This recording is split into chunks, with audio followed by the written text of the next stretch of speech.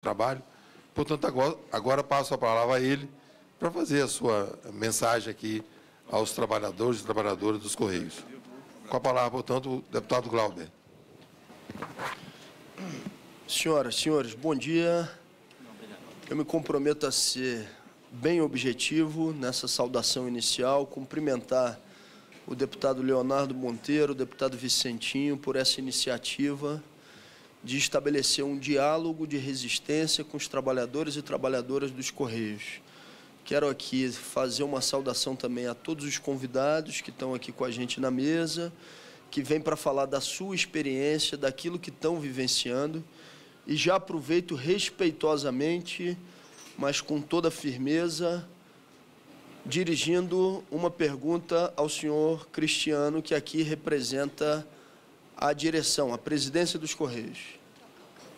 Surgiu uma notícia pública da realização de uma reunião com o fechamento de um grande número de agências e demissão de um grande número de trabalhadores dos Correios, inclusive sendo ela presidida pelo deputado federal Guilherme Campos. Nessa audiência, inclusive, as pessoas presentes teriam sido obrigadas a assinar um termo de confidencialidade em relação às informações que estavam ali sendo trabalhadas. Doutor Cristiano, repito, com todo respeito, mas com toda a firmeza que esse tipo de procedimento exige. Qual é a posição do senhor como representante aqui da presidência dos Correios nesse momento, nessa audiência? E se de fato isso aconteceu e esse termo de confidencialidade foi assinado, ou as pessoas que tiveram presente foram obrigadas a assiná-los, no mínimo, a presidência dos Correios deve um pedido de desculpas aos trabalhadores e trabalhadoras, não só que estão presentes nessa audiência, mas que estão acompanhando essa audiência por todo o Brasil. A tentativa de sucatear os Correios como solução, entre aspas, para uma tentativa de privatização dos Correios não vai ser por nós aceita como se fato consumado fosse. A gente está aqui para lutar em conjunto com os trabalhadores dos Correios por aquilo que é a defesa de algo que é estratégico para o nosso país. Nós não aceitaremos esse tipo de articulação, repito, como se fato consumado fosse. E aí, respeitosamente, gostaria de saber do senhor qual é a posição da presidência dos Correios ocorreu essa reunião, as pessoas que estavam lá foram de fato obrigadas a assinar um termo de confidencialidade. Se não é verdadeiro, os Correios já fez, já teve a oportunidade de fazer um desmentido público às matérias que saíram em vários veículos de comunicação tratando do tema. E se for verdadeiro, gostaria muito de saber se o senhor não acha que é o caso da presidência dos Correios pedir desculpas a todo o Brasil e aos trabalhadores por essa medida que é flagrantemente ilegal. Obrigar pessoas que estão numa reunião a assinarem um termo de confidencialidade para daqui a alguns meses demitir milhares de trabalhadores e fechar centenas de agências dos Correios não é nada mais do que uma flagrante ilegalidade contra o serviço público e contra a maioria da população brasileira. Gostaríamos muito de ter também a posição do senhor sobre o assunto. Respe repito, respeitosa, mas contundentemente a gente não pode deixar aqui de abordar também esse tema, esse assunto em defesa dos Correios e dos trabalhadores e trabalhadoras. Muito obrigado, deputado Leonardo. Queria aproveitar a oportunidade registrar também a presença do senhor Ademir Loureiro. O senhor Ademir Loureiro é o está representando a FAACO, Federação dos Aposentados e Aposentadas dos Correios. Também registrar a presença do Jailson Pereira. Jailson é, é, representa a Associação dos Analistas dos Correios do Brasil, a AACB, também está presente conosco. É, diante isto posto, eu quero passar a palavra ao Cristiano, doutor Cristiano Barata, que é o vice-presidente dos Correios, e que ele pudesse, então, fazer a sua explanação aproveitando a oportunidade, se for possível, responder ao deputado Gleuber Braga. Muito obrigado. Muito bom dia. Bom dia, deputado Gleuber Braga. Bom dia, presidente da mesa, excelentíssimo deputado Leonardo Monteiro. Bom dia aos senhores Wilson Nascimento, aqui representando a Findect, ao senhor José Rivaldo, Fentect, representante, e ao senhor Edilson Neri, representante da Anatect. É. Bom, vamos falar aqui, é, é, já digo desde já que sou empregado da empresa, deputado Lauber, há 11 anos, trabalho na empresa, e tenho é, hoje a honra de ser um dos vice-presidentes, um dos seus dirigentes, tá? Mas sou empregado, matrícula 8, crachá é, e concursado, assim como a maioria do, dos representantes aqui, colegas de Correios que aqui estão. É, hoje estou representando aqui a pedido do presidente, o presidente Carlos Forte, né? Pediu para representá-lo, pediu escusas, é, porque hoje está envolvido em um evento com a presença do ministro e não, não pôde vir. Então, me pediu para representá-lo como, como vice-presidente de canais e, e, considerando que o assunto é afeto à minha, à minha pasta. Em relação à, sua colocação, deputado, é, o que aconteceu foi o seguinte: nós realizamos duas, duas reuniões. Eu sou membro da diretoria executiva, então esse assunto, esse estudo sobre a readequação dos canais de atendimento dos Correios, é, ele passa pela diretoria executiva é aprovado na diretoria executiva, aprovada sua, o seu encaminhamento para o conselho de administração da empresa. Tá? Então, são duas instâncias de, de é, diretivas dentro da empresa brasileira de Correios e Telégrafos. E, a, a, em relação ao termo de confidencialidade, esse assunto realmente ele é revestido de, de sigilo. Ele sempre foi, a, nós mesmos classificamos ele como sigiloso, é, a gente está falando de readequação de canais de atendimento. É, o que aconteceu foi que houve um vazamento do estudo. Aquilo ali era um estudo, era um estudo conceitual relacionado à readequação dos canais de atendimento e quais seriam os possíveis reflexos dessa readequação.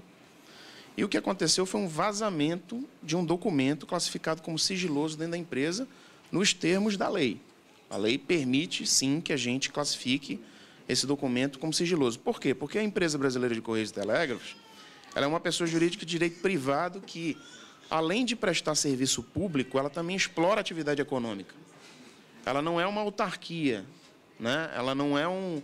O, o principal acionista dela é o Tesouro Nacional, mas ela é uma empresa privada. Os Correios são uma empresa privada. E ele possui interesses comerciais.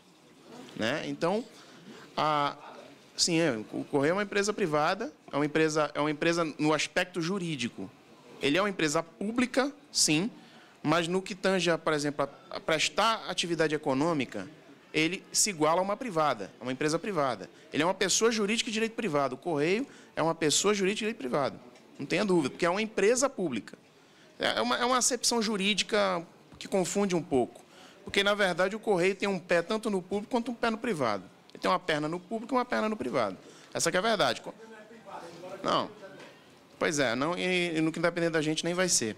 Mas é, é, ela explora a atividade econômica como um particular. É isso que eu estou dizendo. Quando ela, quando ela vende um SEDEX, aquela atividade é concorrencial. Quando ela vende um FAQ ou uma carta, ali é monopólio. Então, ela tem um pé tanto no público quanto no privado. É, e por conta disso, por conta dos interesses comerciais, é, esse assunto todo quando você fala em capilaridade de rede, quando você fala em presença dos correios, esse assunto se reveste sim de sigilo. E a assinatura do termo de confidencialidade, ela visava exatamente evitar o vazamento de informação. É isso que, é, é, é isso que objetivava. Tanto é que isso é uma praxe. Não é só para esse assunto da, das agências. Outros assuntos, por exemplo, como política comercial, como a criação de um novo produto dos Correios, por exemplo, que o Correio vai criar um produto similar ao SEDEX ou ao PAC. Isso é revestido de sigilo quando é levado, quando é levado para a diretoria executiva. Isso não, não pode ser vazado, porque alguma empresa concorrente pode querer utilizar a mesma ideia. Então, isso é uma praxe natural, normal. Isso, e esse assunto, como eu disse, passou pela primeira instância e subiu para a segunda instância, que foi o Conselho de Administração. É, lamentavelmente, o assunto vazou. Era, era um conceito, era um estudo ainda conduzido pela Vicam. Vazou para a imprensa, é, na, na, nessa tônica de que haveria é, demissão de, de milhares de funcionários da empresa, é, que haveria o fechamento, substituição de todas as agências próprias dos Correios, o que não é verdade. É, isso já foi desmentido, já foi até objeto de uma audiência pública é, na qual participou o presidente dos Correios, Carlos Forte, né, conduzida pelo senador Paulo Paim, na, na, no, no Senado Federal.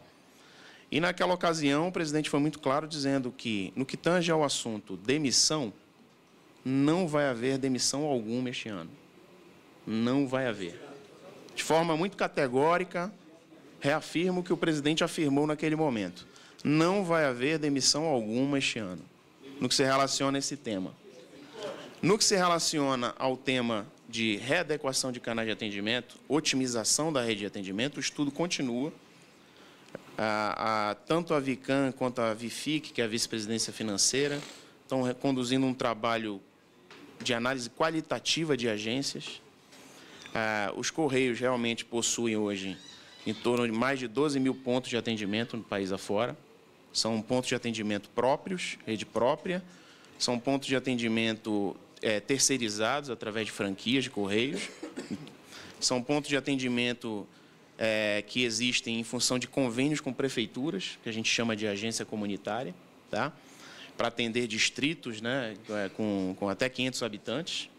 Então, a, a, a gente tem hoje mais de 12 mil pontos de atendimento e esse estudo, hoje, ele objetiva ampliar o número de pontos de atendimento, de 12 mil para 15 mil pontos de atendimento. Tá? Esse é o objetivo desse estudo, aumentar a capilaridade do correio, aumentar a presença do correio. Agora, muitas das vezes é, isso é possível através de parceria com terceiros. Isso não significa, em momento algum, que nós estamos falando de privatização. Isso não é privatização. Vou, por exemplo, o, só para dar um exemplo, agências franqueadas. Quando nós formos licitar novas agências franqueadas ou agências permissionárias, que você pode também utilizar o Instituto Jurídico da Permissão tá, para isso. É, nós vamos ter que solicitar uma autorização ao Tribunal de Contas da União, ao TCU. O TCU regula essa questão. Por quê? Porque o TCU entende em um primeiro momento, que o serviço postal ele é um serviço público e ele entende que a franquia de correios ou a permissão de correios é uma espécie de concessão de serviço público. Então, o TCU ele, ele fica sob a égide do TCU essa análise de autorizar os correios ou não a licitar novos pontos de atendimento. Inclusive, nós temos um dever de casa do TCU. Nós temos um dever de casa porque, na última tentativa de expandir essa rede através de terceirização, o TCU não autorizou a, a, essa expansão e solicitou que o Correio desenhasse vários modelos, e não um único modelo de agência terceirizada para que fosse instalada no país. Veja bem, aqui cabe a gente fazer um, um, um, um parêntese histórico aqui. Essas agências terceirizadas, elas começaram a existir a partir da década de 90, quando foram criadas lá atrás. É, foi uma, naquele momento o Correio enfrentava uma situação econômica financeira muito difícil. Então, a gestão da época utilizou do, da, da, do Instituto da, da franquia postal para conseguir expandir, trazer investimento para a empresa e conquistar clientes. Nós estamos num momento muito, muito semelhante agora, de dificuldade financeira da empresa, muito semelhante. Várias ações aí estão acontecendo é, na tentativa de, inclusive, auxiliar o Correio a sair dessa situação. E impreterivelmente, a gente precisa que essa rede se expanda para tentar captar mais receita. E essa expansão, ela ocorre, sim, por meios terceirizados. Por quê? A empresa hoje não, não tem condições financeiras de expandir por meios próprios. É disso que a gente está tratando. A gente está tratando de estudos é, voltados a isso. Não estamos falando aqui em fechar todas as agências de correios próprias. Não se trata disso. Se trata, sim, em otimizar essa rede de atendimento é, é, para que a gente diminua custos da empresa. A empresa, às vezes, tem realmente, como pode ser demonstrado aí, eu creio que vai ser demonstrado, permitido que a gente faça uma apresentação, não é, né, deputado? É, aí eu chamaria aí o, o chefe de departamento aqui, o Alcelir, que vai fazer uma apresentação, é, para demonstrar o seguinte, que às vezes nós temos agências muito próximas umas das outras, que foi o que é o caso, e a gente precisa otimizar isso, a gente precisa reduzir o custo da empresa em relação a isso. Isso não significa necessariamente, obrigatoriamente, falar em demissão. Muito pelo contrário, essas pessoas vão ser, podem ser muito, muito bem aproveitadas na agência mais próxima ou até em uma agência mais próxima da sua casa, da sua residência. É, é disso que a gente está falando. E por quê? Porque a gente, a gente tem hoje, por exemplo... Nós abrimos 10 minutos, portanto, Sim. o senhor ainda tem um minuto.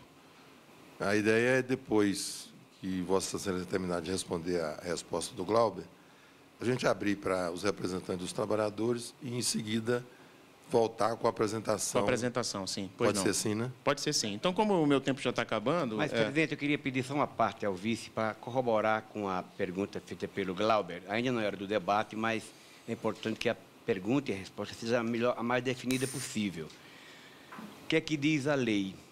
Agentes públicos não podem ser demitidos sem justa causa nos três meses que antecedem o pleito até a posse dos eleitos. A regra vale para empregados das empresas de economia mista, com base na legislação eleitoral 9.504-97.